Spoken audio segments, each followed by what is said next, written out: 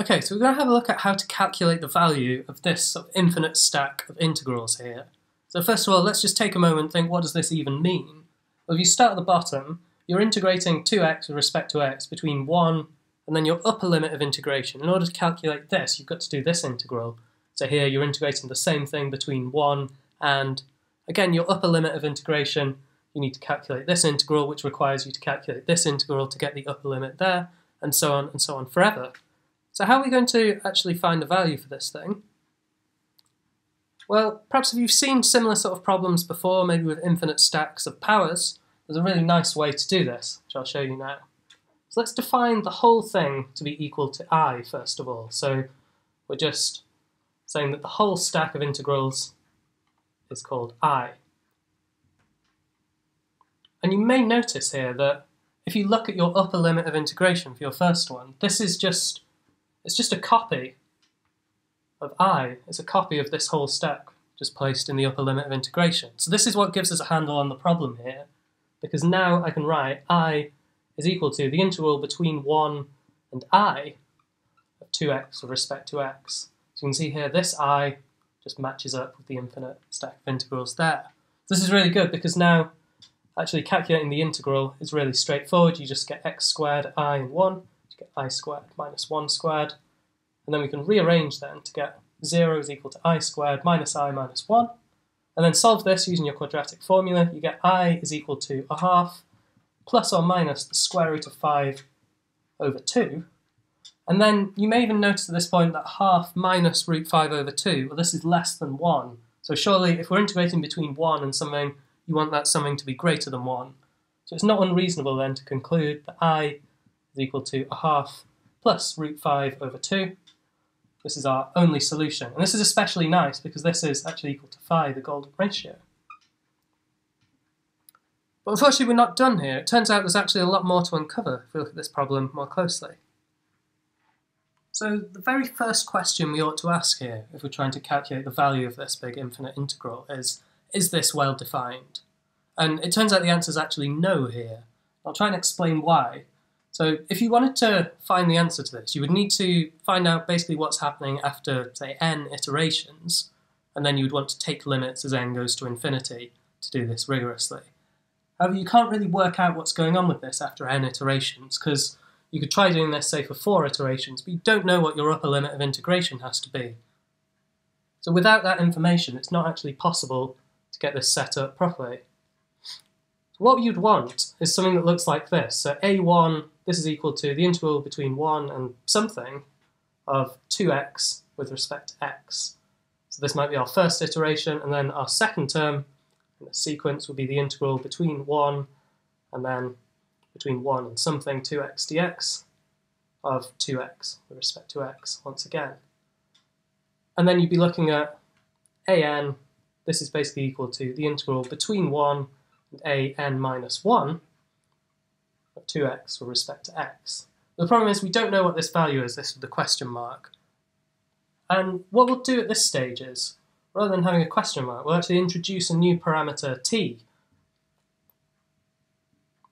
So now we've got a sequence which depends on t here, and it's not immediately clear that you'll get the same answer for the same value of t. But we have, we've at least got something that depends on t that is well defined here. And then you can actually forget about the fact that you're doing integration now because you can evaluate this, you just get t squared minus 1. So this one you would get a1 of t squared minus 1. And then here you're looking at an minus 1 of t all squared minus 1. And then this tells us then that this big infinite stack of integrals, we could define this now dependent on this parameter t, as far as we know just define this as the limit as n goes to infinity of an of t. So next we'll have a go at actually trying to calculate this limit. So we've got this kind of recursive definition now, and you may even spot that if you define the function f of x to be equal to just x squared minus 1, you may notice here that a1 of t, well this is just equal to f of t, and then a2 of t what you're really doing here is just doing f of f of t. And then if you wanted to keep going, say, an of t, so our nth term in this sequence, this would be where you've applied f to itself n times, having started at t. And we'll define this just as f small n of t, so we've got a nice kind of compact notation, where we're doing this n times. having this sort of setup, this allows us to now get a handle on the problem. So let's, we'll just start off and think, what happens if t is phi, the golden ratio?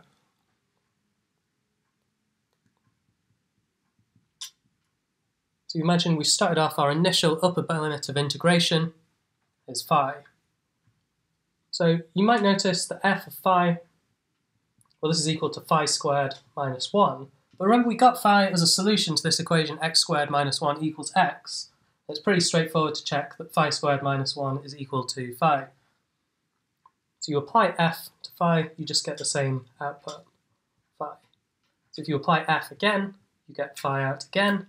And then if you do this n times, so fn of phi, this is also just always going to spit out the same value. So this is a fixed point of our function f. Then when you take limits as n goes to infinity of this, you'll still also get phi. So this tells us that i our integral, when you start off with your upper limit of integration is phi, you indeed get phi, which is what we were hoping for. So back at the start of the video, there was another solution that we kind of overlooked, so now's a good time to return to that. And that was t equals a half minus root 5 over 2. So this was another solution of x squared minus 1 equals x. So let's have a think what happens here if we do f of t here. So f of a half minus root 5 over 2. This is a half minus root 5 over 2 squared minus 1. But then remember this was a solution to x squared minus 1 equals x. So actually you're just going to, when you apply f to this function, you're going to get the same output as your input here, a half minus root 5 over 2. So this tells you that if we apply f over and over and over, to a half minus root 5 over 2, you always just get the same thing back. And this is nice because now when we take limits as n goes to infinity, this suggests then that actually i of a half minus root 5 over 2 is equal to a half minus root 5 over 2. So if you start off with your integral and your upper limit of integration is a half minus root 5 over 2, it seems that you'll get your limit will be a half minus root 5 over 2 again. But there's something a bit strange here because we're integrating from 1 to this value, and this value is actually less than 1. So maybe this is a bit of a problem.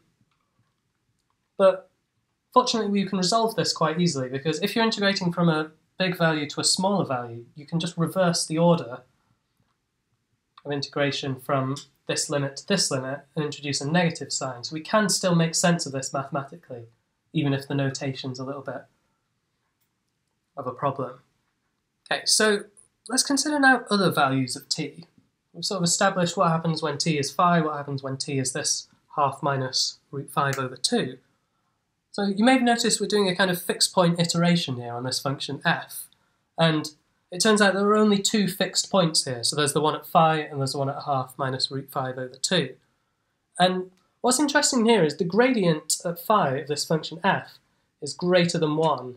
And the gradient here at half minus root 5 over 2, this is less than minus 1.